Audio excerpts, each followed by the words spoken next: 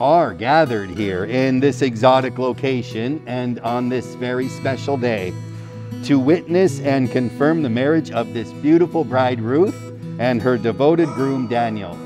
We are honored and delighted to celebrate this occasion with them. And it is our hope that today all their best dreams will begin to become reality. I made a list of promises to you. I just had to write them down and say them out loud. I feel so lucky that God gave me you. You lift up everyone around. I can't believe what I found. Manon, will you take my hand? Just smile and say, Catch me if you can. Ruth, today I am so proud to call you my wife. There will be never enough words to show the love that I have for you. When I'm with you, my heart beats so fast, like what I'm feeling right now. And it seems to explode because it's bursting too much love for you. The extent of your beauty is overwhelming, both inside and out.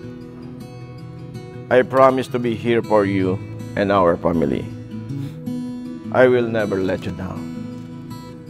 I look forward growing old with you. You are my best friend. You are my soulmate. I love you since the day I met you and will continue to love you forever.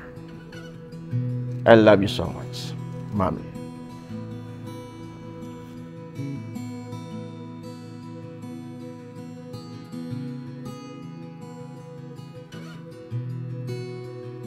Daniel, over nine years ago, I prayed for the right man for me. I even completed Simbang Gabi, praying that I would finally meet the man who will love me unconditionally and take good care of me.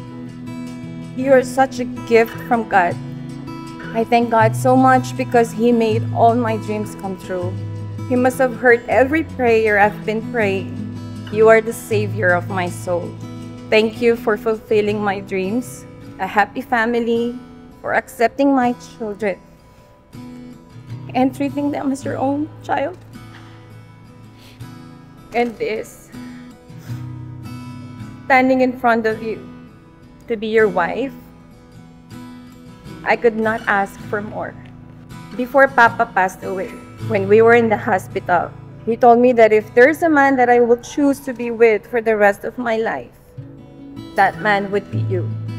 He made the right choice of choosing a man for me. And I made the right decision to marry you. You're everything I didn't know I wanted, and everything I didn't know I needed. Thank you for being my serenity and my home. Thank you for loving my family, and thank you for loving my children as your own. I promise from today and forever I will take good care of you and our children. I promise that I will respect you and stand by you. I love you and I will love you with all my heart forever. I love you, Dad.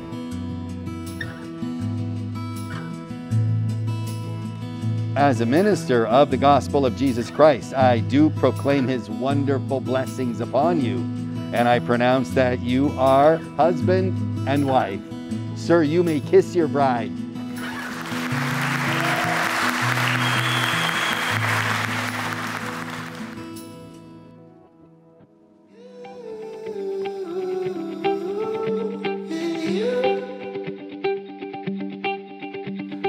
The